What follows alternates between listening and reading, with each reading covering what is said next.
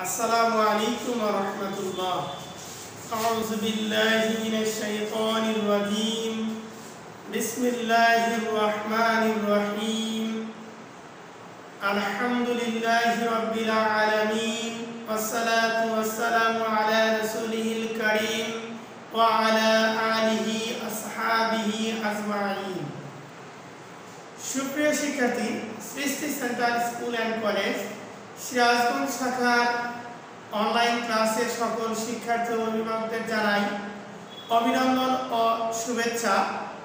সুপ্রিয় শিক্ষার্থীরা, আজকে আমি তোমাদের ইসলাম ও নৈতিক শিক্ষা ক্লাসের যে বিষয়টি নিয়ে আলোচনা করব, সেটা হলো ইমানে মুসমান তো শুরুতেই মহান আল্লাহ তালা শুক্রিয়া জ্ঞাপন করি যে মহান আল্লাহ তালা আমাদেরকে এখন পর্যন্ত দীর্ঘ সময়ে এই বৈশ্বিক করোনা মহামারীতেও আমাদেরকে একান্ত তার প্রিয় বান্দা হিসেবে ভালোবেসে এবং ঈদ উল ফিতর ঈদ উল ফিতরের পরবর্তী সময়ে তোমাদেরকে, তোমাদের ক্লাস নেওয়ার জন্য তৌফিক এনায়ত করলেন সেই মহান আল্লাহ তালার নিকট শুক্রিয়া আদায় করি সামিল আলহামদুলিল্লাহ।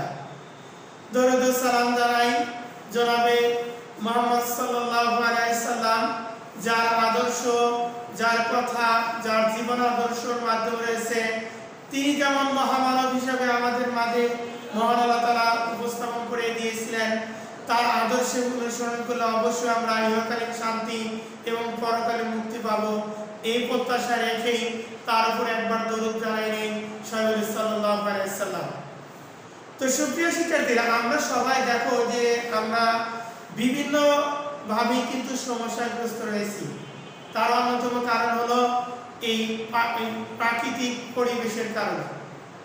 এই যে ভাইরাস কারণ এসেছে, আসলে এটা আল্লাহ প্রদত্ত এক ধরনের আমাদেরকে আল্লাহ যে আল্লাহ থেকে যে আমরা ইবাদত থেকে যে বিভিন্ন দিকে আমরা নিবুদ্ধিত বা চিন্তা চেতনায় যে বেশি রয়েছি, এই চিন্তাকেই আসলে আল্লাহ তালাকে স্মরণ করার জন্য বিভিন্ন মুসিবত দিয়ে থাকেন। বিপদ আপদ এবং মুসিবত দিয়ে থাকেন। এই জন্য অবশ্যই আমাদের কাজ আমাদের শিক্ষক হিসাবে তোমাদেরকে উপদেশ দেওয়া এবং নিজে পালন করা। আর তোমরা শিক্ষার্থী হিসাবে তোমাদের উচিত হলো পিতামাতার কথা অনুযায়ী তোমাদের চলা। কোরআন, হাদিস শেখা, বোঝা এবং সেই অনুযায়ী আমল করা। অবশ্যই পিতামাতার কি কথা শোনা আমাদের খুবই জরুরি। কারণ প্রত্যেক পিতা পিতামাতায় আমাদেরকে কি করেন? আমাদের সবচেয়ে ভালো থাকা, চলা এবং সুন্দর মানুষ হিসাবে গড়ার জন্য আমাদেরকে কি করেন দিক নির্দেশনা দিয়ে থাকেন তারও অংশ হিসেবে আমরা শিক্ষক হিসাবে তোমাদেরকে আমরা কিছু দিক নির্দেশনা দিই বা কিছু শিক্ষা গ্রহণ করা, নৈতিক শিক্ষা গ্রহণ করার জন্য চেষ্টা করি। এই জন্য তোমরা অবশ্যই পিতামাতার কথা শুনবে, নিয়মিত মনোযোগ দিয়ে পড়ালেখা, প্রতিদিনের পড়ালেখা তৈরি করবে এবং ঘরে বসে শুধু থাকবে না, সুন্দর করে তোমাদেরকে স্বাস্থ্য সচেতনতা বিষয়টি জেনে তোমাদেরকে ঘরে অবস্থান করতে হবে এবং পড়ালেখা চালিয়ে যেতে হবে। তো প্রিয় শিক্ষার্থীরা, আজকে তোমাদের দ্বিতীয় সেমিস্টার পরীক্ষা যে সিলেবাসটা রয়েছে, এখান থেকে তো মূলত দ্বিতীয় টিউটোরিয়াল পরীক্ষা হবে। তোমরা ইতিপূর্বে কিন্তু প্রথম সেমিস্টার পরীক্ষা শেষ করেছে। এই জন্য দ্বিতীয় সেমিস্টার সিলেবাসে দেখো, তোমাদের প্রথম অধ্যায়ের চার পার্ট অর্থাৎ প্রথম অধ্যায়ের পার্ট চার, পৃষ্ঠা হলো ছয়। এখান থেকে শুরু হবে দ্বিতীয় সেমিস্টার পরীক্ষার সিলেবাস। আর এখান থেকে তোমাদের কি করা হবে?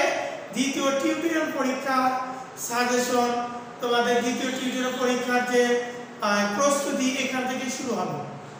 তো আজকে তোমাদের যে বিষয়টি নিয়ে কথা বলব, ইতিপূর্বে বলেছি ইমানে মুসলমান। আমরা জানি মুসলমান হিসেবে কালেমা গ্রহণ করতে হয়। আর কালেমার প্রধান কালেমা হলো কি? লা ইলাহা ইল্লাল্লাহু মুহাম্মদ রাসূলুল্লাহ। তাইয়্যিবা এরপরে কালেমায়ে শাহাদাত, কা ইমানে মুজমান ইমানে মুফাসসাল। এই চারটি কালেমা রয়েছে কিন্তু। কিন্তু আমরা বেশিরভাগ জানি কালেমা তাইয়্যিবা এবং তারপরের যে কালেমাটা সেটা হলো কালেমা শাহাদাত। এই ইমানে মুফাসসাল, মুজমাল, এই দুটি আর দুটি কালেমা রয়েছে। এইগুলোর প্রতি আমাদেরকে অবশ্যই বিশ্বাস এবং একই এবং সেই অনুযায়ী আমল করা অবশ্যই প্রয়োজন। প্রিয় শিক্ষার্থীরা, আমরা ইমানে মুসমাল সুন্দর করে আমরা কি করব? তেলাওয়াত করব। বিসমিল্লাহির রহমানির রহিম। আমানতু বিল্লাহি কামা হুয়া বিআসমাইহি ওয়া সিফাতিহি ওয়া কাবিলতু জামিআ আহকামিহি ওয়া আরকানিহি আমি ভেঙে ভেঙে বললাম, বোঝার সুবিধার্থে। আরেকবার বলি, বিসমিল্লাহির রহমানির রহিম, আমানতু বিল্লাহি কামা হুয়া বিআসমাইহি ওয়া সিফাতিহি ওয়া কাবিলতু জামিআ আহকামিহি ওয়া আরকানিহি। এইটা ছিল ইমানে মুজমাল, ইবারত, অর্থাৎ আরবি উচ্চারণ। তাহলে আরবি উচ্চারণে এখানে আমরা যেহেতু বাংলা ভাষাভাষী, বাঙালি জাতি, বাংলাদেশের মানুষ, আমাদের মাতৃভাষা বাংলা, আর এইখানে আমি উচ্চারণ করলাম আরবিতে। হয়তো অনেকেই কোরআন শরীফ পড়া জানো না এই জন্য এটা নাও বুঝতে পারো। কিন্তু আমরা যদি বাংলাটা তোমাদেরকে বুঝিয়ে দিই, তাহলে আমাদের ব্যক্তিগত জীবনে যেমন শিখতে পারব এবং আমল করতে পারব সেই অনুযায়ী আমরা যদি আমল করি, তাহলে ইহকালীন শান্তি এবং পরকালীন জীবনেও মুক্তি পেয়ে জান্নাতে প্রবেশ করবে ইনশাআল্লাহ। তো এ পর্যায়ে আমি তোমাদেরকে বাংলা অর্থ বা অনুবাদটা কি শেখাবো। এইখানে আমি বোর্ডে সুন্দর করে লিখেছি, দেখো, তোমরা অবশ্যই বোর্ডকে খেয়াল রাখবে। এইখানে দেখো, আমি তোমাদের ইমানে মুসলাম, এইখানে এর হলো আরবিটা মুখে বলেছি। অর্থটা এখানে বোর্ডে লিখেছি। আমরা এখানে সুন্দর করে অর্থটা বলব, দেখো। ইমানে মুসমানের অর্থ, আমি ইমান আনলাম, আল্লাহর উপর ঠিক তেমনি যেমন আছেন তিনি। দেখো, আমি শুরুতেই বলব যে কালেমায়ে তাইয়্যিবা এখানে কিন্তু লা ইলাহা ইল্লাল্লাহু মুহাম্মদ রাসূলুল্লাহ আল্লাহ ছাড়া কোনো মাবুদ নাই উপাস্য নেই এবং মুহাম্মদ সাল্লাল্লাহু আলাইহি সাল্লাম আল্লাহর প্রেরিত বান্দা ও রাসূল। কিন্তু শুধু এর উপর না, আরও তিনটি কালেমা রয়েছে। এর উপর বিশ্বাস, ঈমান এবং আমল করা অতি জরুরি। তো আবার বলি আমি ঈমান আনলাম আল্লাহর উপর কার উপর ঈমান আনলাম আল্লাহর উপর ঠিক তেমনি ঠিক তেমনি যেমন আছেন তিনি যেমন আছেন তিনি তার সকল নাম ও গুণ সহ আল্লাহর নাম কয়টি নিরানব্বইটি এবং তার যে গুণাবলী আছে, এই নিরানব্বইটি নাম সিফত বা গুণাবলী। এর আমরা কি করলাম? ইমান নিয়ে আসলাম। আর আমি তার সকল হুকুম ও বিধি বিধান গ্রহণ করে নিলাম। তাহলে কি আরও দ্বিতীয়বার বললাম কি? আর আমি তার সকল হুকুম ও বিধিবিধান গ্রহণ করে নিলাম। তাহলে এখানে আমি তার সকল গুণাবলী বা সিফত বা গুণ সহ বা নাম, এর উপরে কি করলাম? ইমান আল্লাহ এর পাশাপাশি বলা হয়েছে শেষে যে আর আমি তার হুকুম, সকল হুকুম ও বিধিবিধান গ্রহণ করে নিলাম এখন তার হুকুম কোথায়? পবিত্র আল কোরআন পবিত্র আল কোরআন অনুযায়ী আমাদের জীবনকে পরিচালনা করতে হবে এবং অন্যদেরকে পরিচালনা করার জন্য উৎসাহিত করতে হবে। প্রিয় শিক্ষার্থীরা, তাহলে এখানে কিন্তু ইমানের মুজমানও কিন্তু অনেক গুরুত্বপূর্ণ। এইখানে কেন গুরুত্বপূর্ণ? শুধু দেখো, এই কালেমা তাইবা কিন্তু হিন্দুরাও করতে পারে। যদি কোনো হিন্দুকে বলো যে বলেন তো, অনেক হিন্দু আছে, অনেক মুসলমানের চেয়ে অনেক সুন্দর করে উচ্চারণ করতে পারে। কিন্তু তার ইমান আনা যে কালেমা গ্রহণ করলেই তো ইমানের কি হয় না, বাস্তবায়ন হয় না। দেখো, ইমানের মুখে শিকার, অন্তরে বিশ্বাস এবং কাজে পরিণত করার নাম হলো ইমান। এখন মুখে সে বলল, হিন্দু, বৌদ্ধ খ্রিস্টানেরা মুখে বলতে পারে। অন্তরেও কিছুটা হলে বিশ্বাস করে যে, খোদা, প্রভু, এই যে ভগবান এইগুলা আছে তিনি একা এই অনেক কিছু সৃষ্টি করেছেন। কিন্তু কাজে এসে দেখো, সেটা বিপরীত। কি করে? তারা দেখবে যে, আমরা যে মুসলমান ধর্মে বা কোরআন এবং হাদিস শরীয়ত অনুযায়ী যত কিছু পালন করার চেষ্টা করি কিন্তু তারা কিন্তু বিন্দু মাত্র করেন কারণ তারা মূর্তি পূজারী, শিরে বিদার এবং বিভিন্ন সম্পূর্ণ বিধর্মিত লিপ্ত রয়েছে।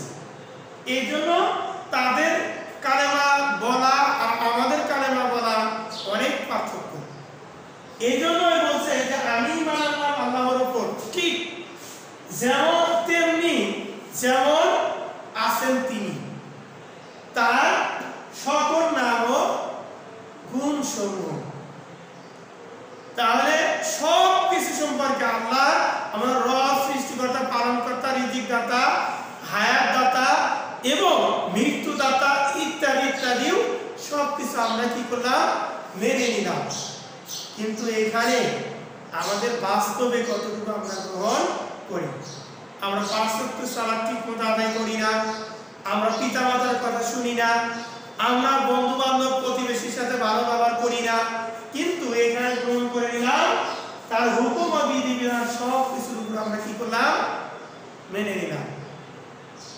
তো প্রিয় শিক্ষার্থীরা, এখানে তাৎপর্য বলা হয়েছে, ইমান অর্থ বিশ্বাস, আর মুসমান অর্থ হলো সংক্ষিপ্ত। অর্থাৎ, ইমানে মুসমান এর অর্থ হলো সংক্ষেপে আল্লাহর প্রতি বিশ্বাস স্থাপন ও আনুগত্য স্বীকার করাকে ইমানে মুসমান বলে। এ বাক্য দ্বারা আমরা পুরোপুরি ভাবে আল্লাহ তাআলার কর্তৃত্ব, নেতৃত্ব ও বিধিবিধান স্বীকার করিনি তার ইমান অর্থ হলো বিশ্বাস মুসমান অর্থ হলো সংক্ষিপ্ত। অর্থাৎ সংক্ষিপ্ত আকারে আল্লাহ তাআলার বি- প্রতি বিশ্বাস করা ও আনুগত্য স্বীকার করাকে ইমানে মুসলমান বলে। আল্লাহ তার কোনো নাই, তিনি কাউকে কি করেন নাই? জন্ম দেননি, তাকেও কেউ কি করেননি? জন্ম দেয়নি। এবং তার যে গুণাবলী, তার যে ক্ষমতা তিনি সর্বশক্তিমান, এর বাইরে কোনো কিছু নেই। তো প্রিয় শিক্ষার্থীরা, মানুষের কল্যাণের জন্য পৃথিবীতে যা কিছু সৃষ্টি করেছেন সব কিছু আমরা ভোগ করি এবং এই ভোগ করার কারণেই আমরা অবশ্যই তার কাছে জবাবদিহি করতে হবে এবং আমাদের জ্ঞান দিয়েছেন ভালো মন্দ বিচার করার জন্য। এর জন্য তাআলা কি আমাদের দিন আমাদেরকে বিচার করবেন। তো প্রিয় শিক্ষার্থীরা অবশ্যই আমরা কি করব? ইমানে মুসবার শুদ্ধভাবে করব এর অর্থ এর অর্থ বুঝে বুঝে সঠিকভাবে কি করব? পালন করব তার আল্লাহ তাআলার আনুগত্য স্বীকার করব। আর জীবনে সর্বাবস্থায় এবং সকল অবস্থায় আল্লাহ তাআলার আদেশ নিষেধ মেনে চলব। ইমানে মুসলমানের শিক্ষা ছিল এই। তো প্রিয় শিক্ষার্থীরা, অবশ্যই আমরা চতুর্থ পাঠ পৃষ্ঠা নাম্বার ছয়, এখান থেকে তোমাদের হোমওয়ার্ক দেওয়া থাকল। দশটি ছোট প্রশ্ন এবং উত্তর। এই ছোট প্রশ্ন উত্তরগুলো তৈরি করে, সুন্দর করে ছবি তুলে মেসেঞ্জার গ্রুপে পোস্ট করে দিবে। অবশ্যই ভালো থেকো, সুস্থ থেকো, সুন্দর থেকো। এই প্রত্যাশা রেখে আজকে তোমাদের মাঝে বিদায় নিচ্ছি। আমার তৌফিক ইল্লা বিল্লাহ। আসসালামু আলাইকুম ওয়া রাহমাতুল্লাহ।